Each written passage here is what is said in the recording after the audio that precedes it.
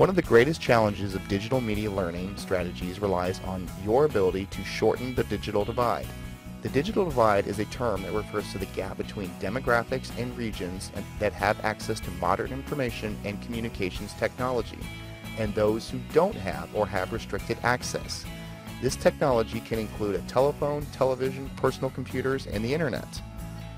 The digital divide typically exists between those in cities and those in rural areas, between the educated and the uneducated, between socioeconomic groups, and globally between the more and less industrialized developed nations. Even among populations with access to technology, the digital divide can be evident in the form of lower performance computers, lower speed wireless connections, lower price connections.